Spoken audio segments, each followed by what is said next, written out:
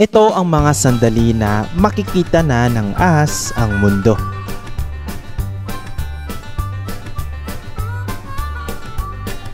Yo, what's up sa inyo mga katambay? It's your boy John Fox Speech. Panibagong araw at panibagong kaalaman na naman ang ibabahagi ko sa inyo kung saan ay pag-uusapan natin ang mga bihirang sandali mula sa kalikasan na ngayon mo lang malalaman. At kung bago ka lang sa ating channel, ay click mo na ang subscribe button at click nyo na rin ang notification bell para sa pagsuporta sa ating channel. At shoutout nga pala sa ating mga katambay na si Prince Lloyd Channel, Junil Mampusti, Bridel, Yugi PH, Lyrics.com, Erickson Buesa, at kay Gia Anteo. Alright, kaya kung handa ka na ay simulan na natin.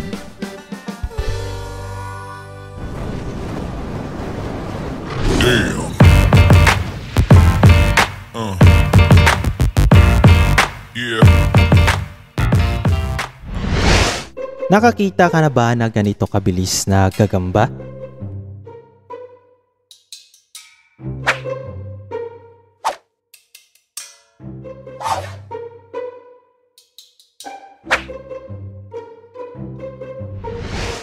Gaano nga ba kabilis kainin ng isang ibon ang buong isda?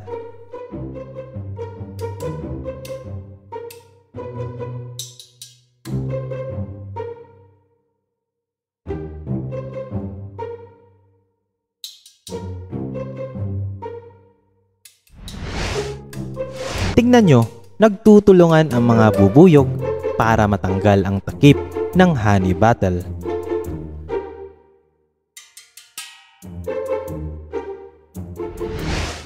Magugulat talaga kayo kung gaano katapang ang ibang nilalang para lang maprotektahan ang kanilang teritoryo.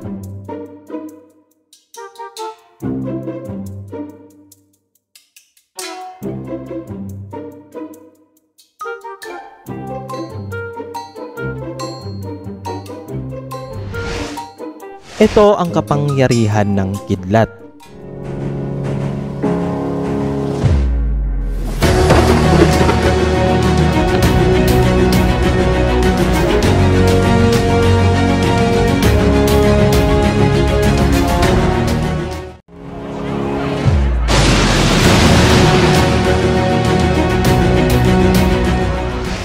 Ito ang itsura ng bagyo kapag nasa himpapawid ka.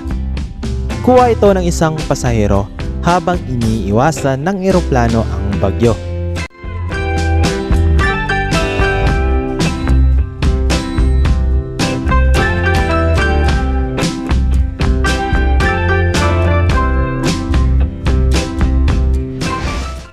Narito rin ang isa pang nakakatakot na bagyo na papunta sa lawa ng Michigan.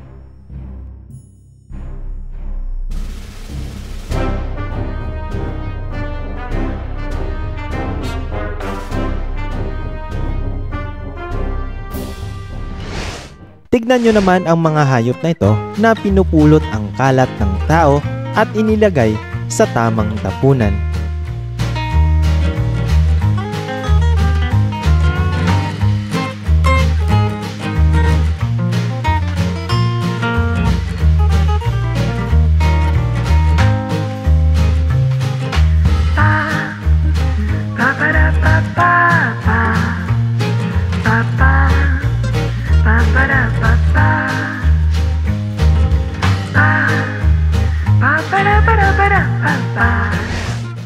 Hindi ito isang waterfall, kundi isa itong sunfall sa Saudi Arabia.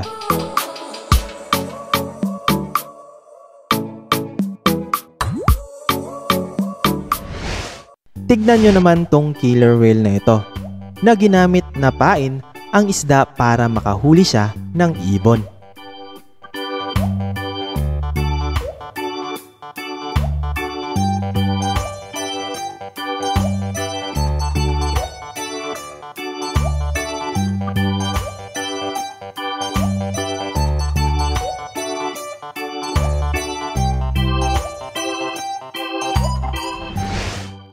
isang lumilipad na nilalang sa dagat.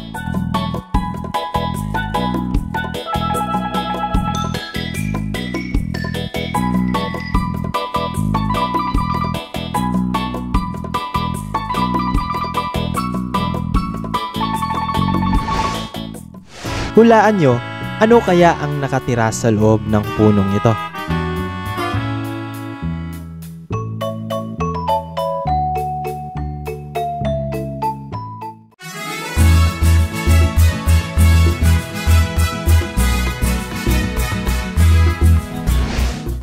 Ito ay isang king cobra na nagpapalit ng balat.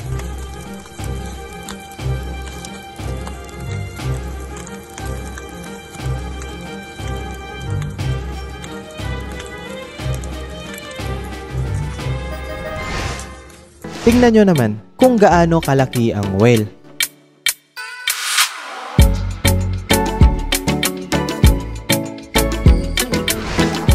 Ito ay hindi inaasahang view pagkalabas ng tunnel.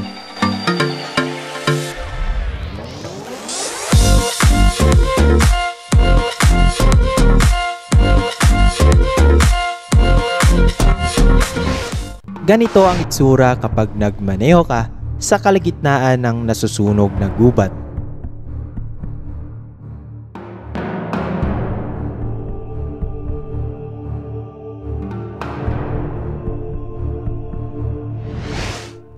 Tignan nyo ang kakaibang paraan ng isda na to para makahuli ng kakainin.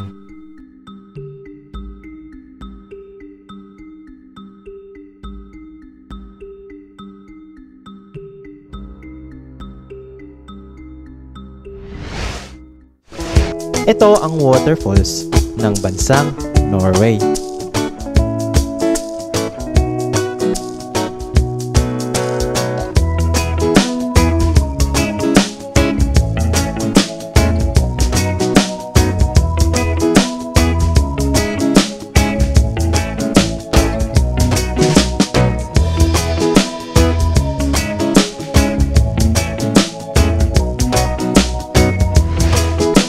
Tignan nyo ang ibon na ito na handang isugal ang buhay para lang maprotektahan ang kanyang mga itlog.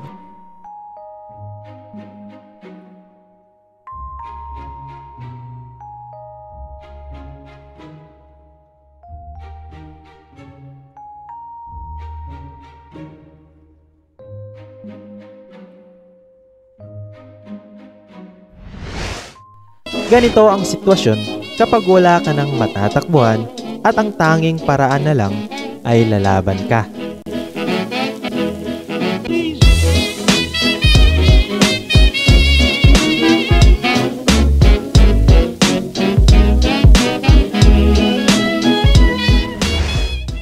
Ito ang itsura kapag panahon na ng tagsibol sa kagubatan.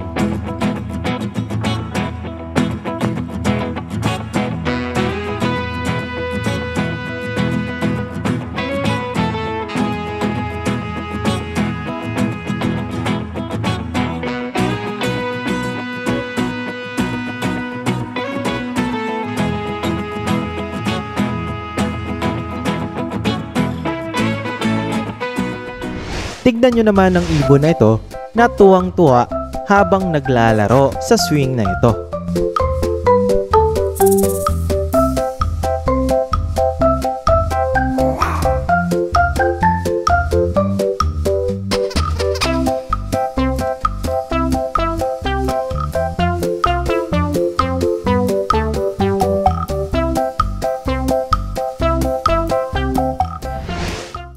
At dito na nagtatapos ang video na ito.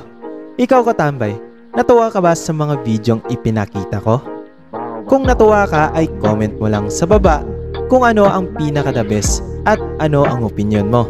At huwag kalimutang pinutin ang like, subscribe at notification bell para lagi kayong updated sa mga bago kong upload. At ako nga pala ay inyong katambay na si Jan Fox PH katambay nyo sa katuan at katambay nyo rin sa mga bagong kaalaman. Alright?